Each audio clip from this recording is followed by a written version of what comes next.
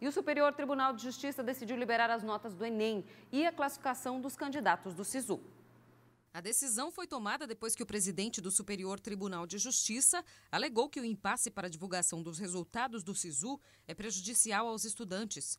O cronograma tinha sido suspenso pelas universidades e institutos federais de Santa Catarina depois de uma determinação da Justiça Federal, já que alguns problemas na impressão das provas do Enem acabaram alterando as notas do exame de quase 6 mil candidatos de todo o país. Por isso, o resultado do SISU não foi divulgado e as inscrições do ProUni, que fornece bolsas em universidades privadas, também não começaram.